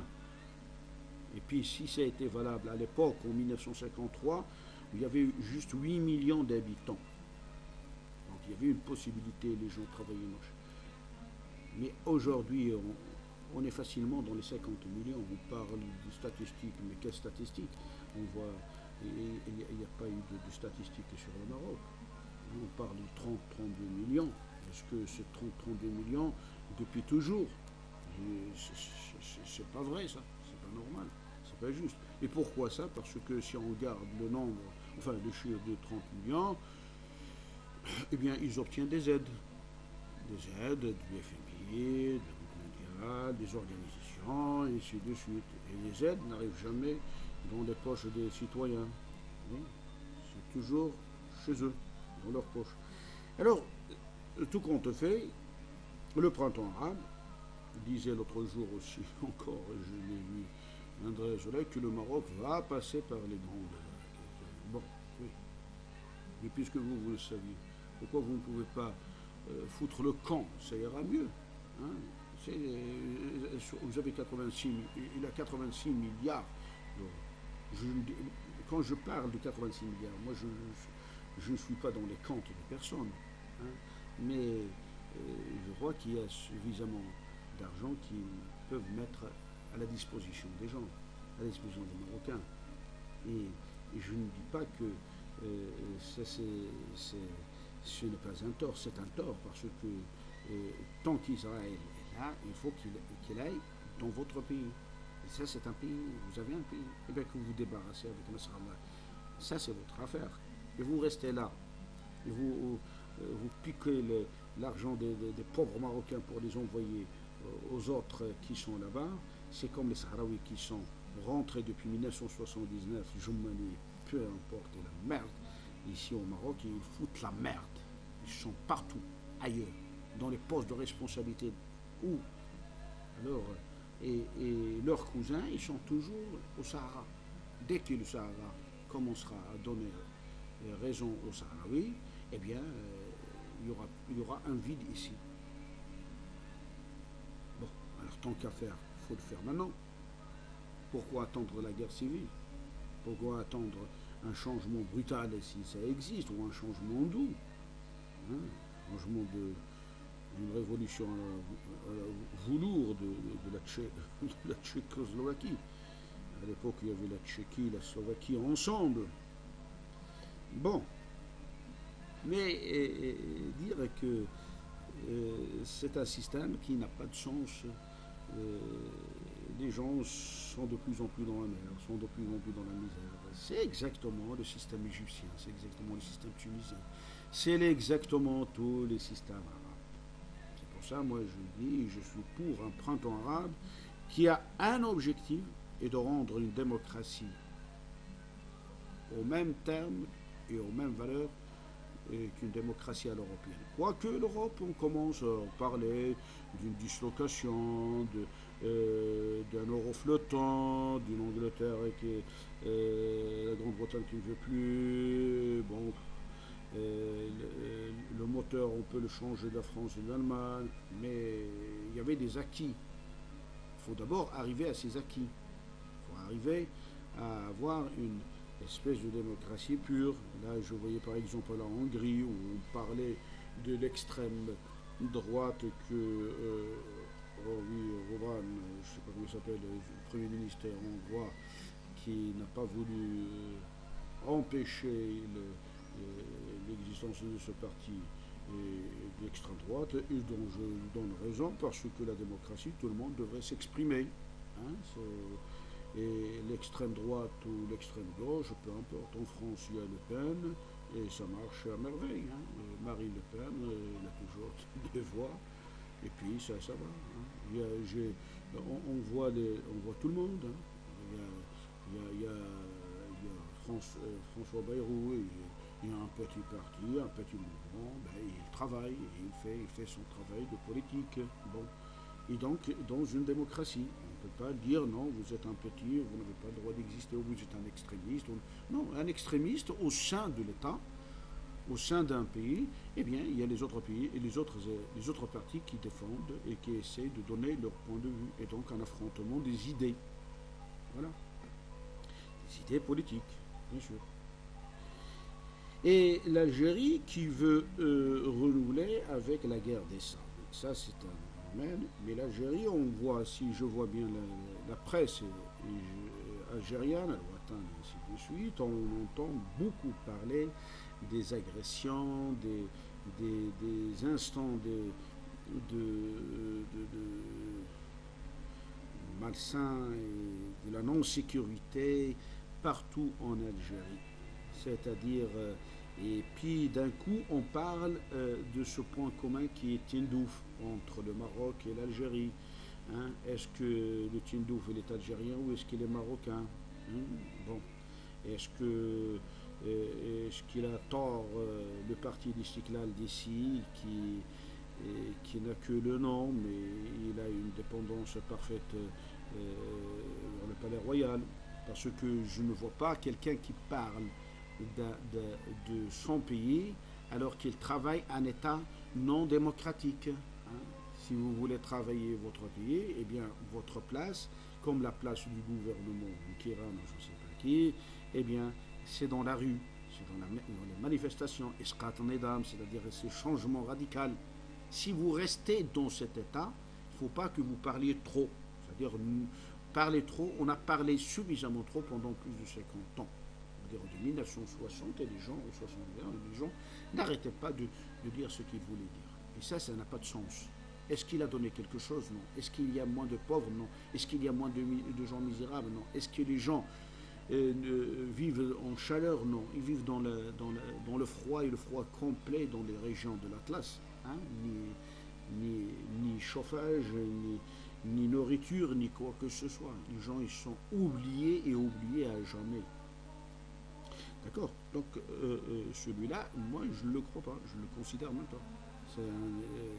C'est un, parti politique qui a fait ses, voix sur le dos des pauvres. Et ça, ce n'est pas intéressant. Je ne dis pas qu'il existe un parti qui, travaille vraiment l'État. L'État qui travaille je dis l'État, l'État au sens de l'État de droit, c'est-à-dire qu'il n'est pas encore un État de droit, c'est-à-dire qu'il y a pour objectif de travailler en état de droit. Il n'existe pas.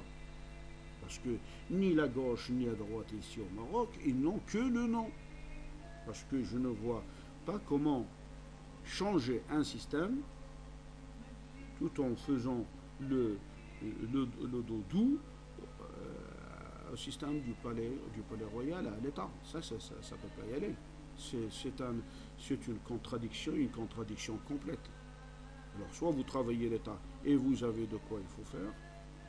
Il y a les rues, il y a, les manifestations. Il faut suivre, il faut suivre le mouvement parce que euh, les, Égyptiens n'ont fait que ça, le Yémen que ça, les huit, ils sont des gens qui travaillent.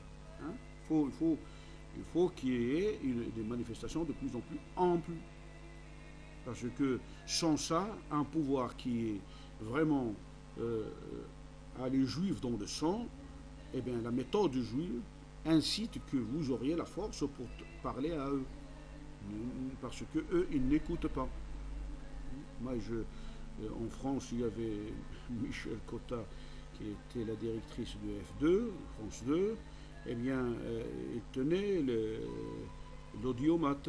et tous les journalistes qui n'arrivaient pas à avoir une bonne note maths, eh bien, les expulsait. C'était une juive. Et quand le tour lui est arrivé, eh bien, elle, il n'a pas voulu. Hein, non, il était obligé de la mettre à la porte. Hein, voilà, c'était. Et c'est la même chose pour euh, Jack. Il avait regretté pourquoi il avait. s'est retiré de la Banque européenne sans qu'on le mette à la porte de force. Parce que c'est la force qu'ils entendent. C'est-à-dire, sont des, c'est, des malades, c'est, des gens qui ont un manque de dosage chez eux. Et c'est ça ce qui m'importe le plus. C'est-à-dire, si on arrive à dégager cet espace de méthode juive et de dire, bon, voici, il y a une autre méthode de travail qui est un travail démocratique, un travail d'un état de droit, un travail de, de, voir vraiment l'intérêt de tout un peuple, je crois que euh, euh, cette méthode, ça peut, ça peut marcher. Mais en tout état de cause, la méthode jusqu'à présent qui marche, qui, circule tout le temps avec leur berguet et avec tout leur système, je ne crois pas que c'est une bonne méthode. Ça, c'est mon avis. Hein. Vous êtes libre de penser ce que vous voulez.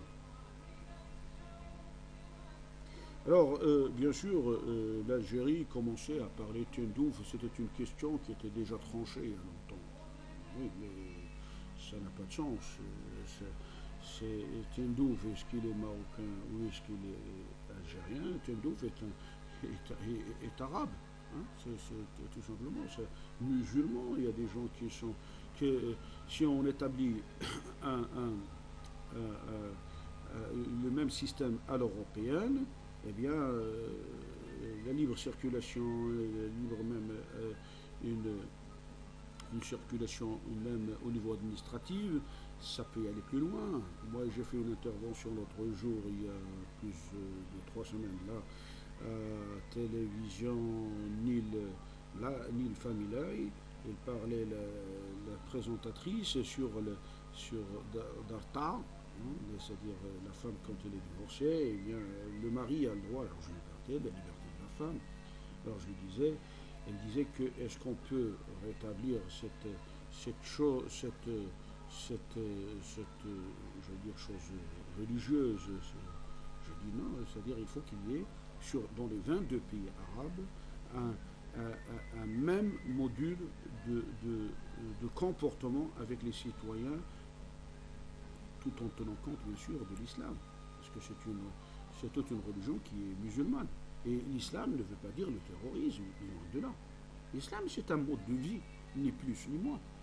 C'est un comportement, c'est, un, c'est une façon de travailler. Alors, euh, mais de grâce, il ne faut pas, comme j'entends souvent par exemple, je l'ai entendu euh, euh, télévision de Radouane comment s'appelle déjà, Bassera de Rouani là-bas, parlait qu'il euh, ne faut pas toucher les présidents.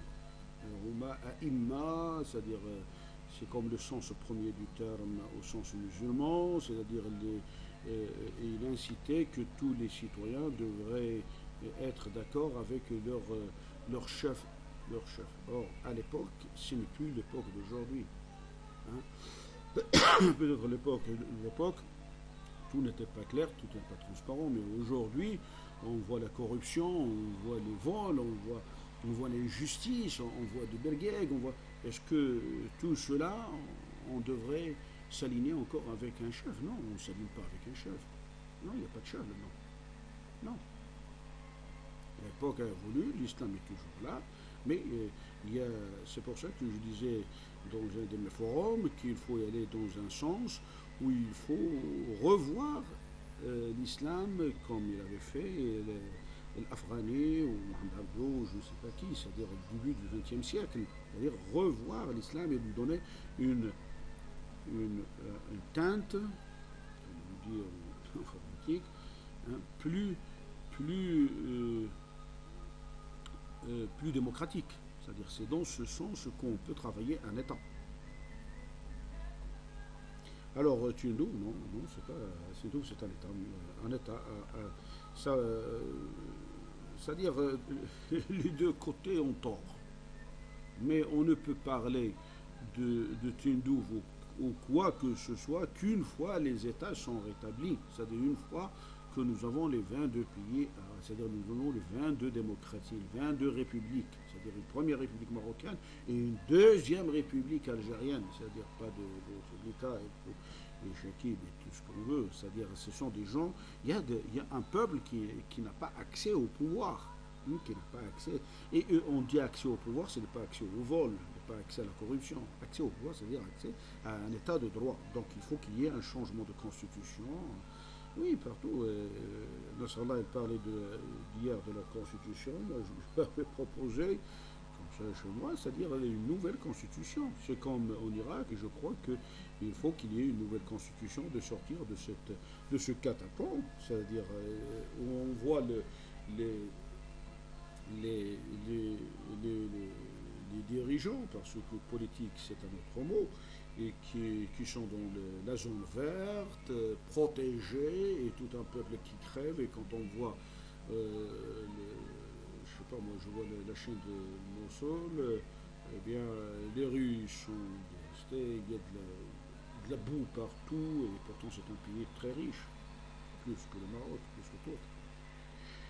il faut d'abord commencer par ce qu'il faut commencer, c'est-à-dire ce qui disait la méthode cartésienne, la méthode de Descartes, le petit petit, c'est-à-dire on peut d'abord établir ces états de droit. Ça demandera. Le temps dépend de, euh, de, de, la mentalité des gens, c'est-à-dire de, euh, gens, euh, comment ils captent et à quelle vitesse ils captent. Je crois qu'ils ont la, capacité de capter plus vite et d'aller plus vite parce que tout le monde veut cet état de droit. Si vous voyez les immigrés qui sont partout ailleurs, c'est pour cet état de droit parce qu'il manque un état de droit. Déjà, quand ils arrivent par exemple en Europe, eh bien, ils s'adaptent. Mais euh, l'autre preuve, c'est quand vous revenez chez vous, hein, eh bien, vous êtes déjà, vous avez déjà une espèce de moule euh, démocratique et vous ne pouvez pas vivre avec d'autres moules, dans d'autres moules non démocratiques. Et c'est ça ce qui fait qu'il y ait un désaccord entre les deux mentalités. Donc il faut qu'il y ait une mentalité d'abord qui soit une mentalité démocratique. Cette mentalité démocratique qui pousse à avoir un, effet, un effet, un effet, un effet plus ample. Mais je crois qu'ils arriveront à le faire. Moi, je, euh, je vous donne l'exemple. Euh, par exemple, euh, Keltoum, il était là en 1967 ou 1968. Eh bien, tellement elle est respectée, tellement elle est forte dans sa valeur, tellement qu'ils font la différence entre elle et les autres. Eh bien, il y avait un des spectateurs à la tribune, quand il donnait son concert, il y en a un qui est monté à la tribune et s'est incliné à embrasser ses pieds, parce que c'est un respect profond. C'est-à-dire, comment atteindre euh, ce statut, tellement il est très fort et très haut. Voilà. Et ça, je crois que euh, euh, les gens, au fond d'eux-mêmes, savent les vérités et savent la vérité, c'est-à-dire qui consiste à dire on ne peut pas cacher le soleil avec son petit doigt. Quand la valeur est là, elle est là exemple, quand je parle des Égyptiens d'aujourd'hui, eh bien non, ils, sont tellement recroquevillés, il y a un complexe d'infériorité, il y, a, tout un ensemble qu'on ne peut pas s'approcher même d'elle ou, de, ces gens. Je ne dis pas non plus que tout le monde est la même, dans, la même sauce, mais ça existe, donc il y a une valeur. Hein. Donc, euh, si vous voulez, c'est ce sont des, choses qui ont, une, qui ont une teinte. Alors, de là, on arrive à la fin de ce débat, qui a fait quand même 1h34 minutes. Ça fait... Voilà. Et, et je dirais que... le pouvoir en place, par exemple au Maroc, comme en Algérie, comme les pays qui n'ont pas vu, euh, parce que quand j'ai entendu, qui n'ont pas fait temps arabe, quand j'ai écouté Nasrallah, il parlait euh, où sont les pays arabes? Il n'a pas encore aujourd'hui, à l'état actuel des choses, les pays arabes où vous pouvez parler des États démocratiques ou des États où on peut parler d'un État. Il y a des peuples, d'accord? Et il y a des États qui sont, euh, qui sont des dictateurs. Ni plus il faut dire les choses comme ils sont. hein. Mais ils ne sont pas encore dans cet État, dans ces États de droit. hein. C'est-à-dire, il y a un, ils ne sont pas encore. Il faut qu'il y ait un changement radical. Et il y a 22 pays, 22, euh, euh, 22 républiques. D'accord? Et tous des nouvelles républiques. Là, à partir de là, on peut capter. On peut, on peut, on peut, on peut sentir le, le- le mouvement. Vous pouviez parler à l'époque, là, où se trouvent le- les Arabes, on peut, en dire ce qu'on veut, mais pour l'instant, il y a une séparation des deux. Un peuple arabe, musulman, et, un, et des États. Et chacun tire euh, la couverture à lui, c'est à chacun, et pour, pour, le, pour, euh, pour leur mode de vie. On est, on est, je crois que je suis bien fait comprendre. hein. C'est pour ça que, par exemple, au Maroc, euh, je rends hommage, par exemple, aux, gens de Tanger. Ce sont des gens qui, qui arrivent à y aller plus loin, qui arrivent à, euh, rester la flamme vivante de, de ce printemps arabe. Par contre, dans les autres, il y a toujours cette crainte, cette peur. euh, il y a rien à, vous n'avez rien de quoi craindre. Vous demandez votre droit. Vous ne demandez pas autre chose. Mais c'est- la dictature euh, se métamorphose et se, déplace. Il faut y arriver à aller dans ce sens. Bien sûr, les- les psychopathes euh, qui sont dans, le, dans les brigades, ils utilisent tous les moyens. L'âge, le, le travail, et ils utilisent. Moi, j'ai entendu beaucoup de, de qui disaient euh, pourquoi s'emmerder? Il suffit de manger juste un œuf et vous êtes tranquille chez vous. Un œuf. Le temps du jour. Mais un œuf, on ne mange pas avec un œuf. hein. Hein? On ne vit pas avec un œuf. Et vous êtes tranquille. Pour quelle tranquillité vous voulez quel, quel genre de tranquillité? L'Inde est tellement tranquille, il y en a des gens qui crèvent tout le temps. Et pourtant, c'est une démocratie. Et ils n'arrivent pas encore à, joindre les bouts. Les gens, ils ne sont pas dans. Ils sont, loin du compte. Donc, il seule l'armée qui, qui peut euh, arrêter cette souffrance hein, qui, par un coup d'État militaire ici ou en Algérie, ou que je les vois selon la presse et qui veulent mettre Bouteflika un peu à l'écart, je crois que ça fait partie de, leur, de leur boulot. Ça y est, il y a- un système, il y a un État, il y a des gens qui crèvent et, il faut bien qu'il y ait des gens qui arrivent à,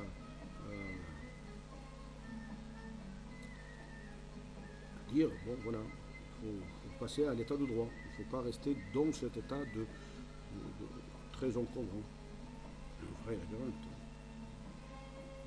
Non, maintenant, et puis je disais sur le Sahara, le Sahara, maintenant ce qui se passe, c'est un exemple pour tout le pays. Tout le monde maintenant sait comment il faut faire, sait comment il faut travailler cet État. Il y a des manifestations, et à force de manifester, eh bien, euh, euh, vous, allez, vous allez arriver à avoir votre droit. Arriver à mon droit aussi, parce que moi aussi, je suis aussi dans la merde. Hein. Il ne faut pas, faut pas se cacher. Et je dirais même plus que les pays arabes, maintenant que je regarde, personne n'a osé me dire euh, par euh, quoi que ce soit. Et puis pourtant, ils font de la merde là-bas. La télévision égyptienne, Jazeera, libanaise tout ça. Personne n'a osé dire, chers euh, frères arabes ou musulmans, voici la caméra où est placée chez vous. On vous regarde de ça, on vous regarde de là. Voilà. Ça, c'est un, un phénomène qui est très important. Parce que si on arrive, c'est qu'il y ait une liberté de la personne. Or, ils n'arrivent pas à le faire. Parce que la, la personne qui donne le journal ou qui fait une émission, eh bien, cette personne, elle est là pour, euh, pour son poste. Et la, dictature est toujours là. Si elle fait de quoi que ce soit, il n'y a ni liberté de la presse, ni liberté de quoi que ce soit. à la porte. Et on met les gens qui leur conviennent. Donc, c'est comme je vous ai dit, la, la, démocratie est un système qui, qui a une tendance d'abord à s'inviter dans le son, qui soit dans un comportement moral intellectuel. Je dirais même euh, l'islam, il a ce, caractère fort de rendre euh, les choses plus nobles. Hein. Ici, ils font le bagag et après ils vont à la mosquée. Qu'est-ce qu'ils foutent à la mosquée? Je dirais même, on pourrait même dire euh, comment Dieu parlerait aux gens quand il dira euh, Vous, vous avez pu faire ça, un mal à un citoyen. Est-ce que vous aurez dû le faire à un de vos, euh, vos enfants? Non. Et vous l'avez à votre famille? Non. Et pourquoi vous l'avez fait à celui-là Et on s'amusait, parce qu'il faut passer tout par un état d'amusement. On rigole, mais la personne souffre. Et ça, les, gens, il faut qu'ils osent aller dans ce sens. La démocratie, c'est ça, c'est-à-dire il y a le respect de la personne. Et il me semble que euh, je suis dans un. Tout ce qu'on pourrait dire, il est dans ce sens c'est-à-dire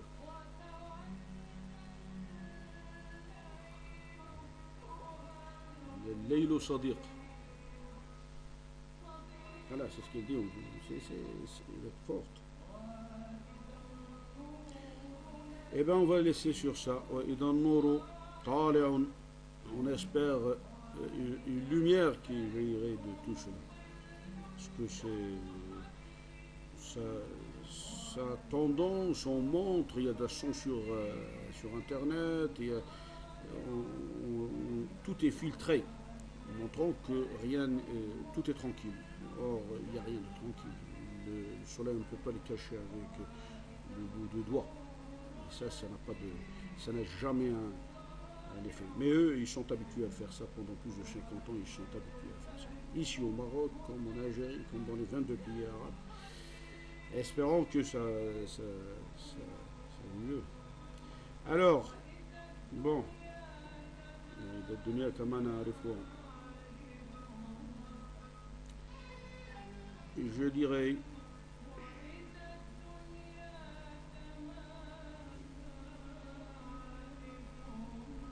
Je sais pas si j'avais oublié quelque chose à dire.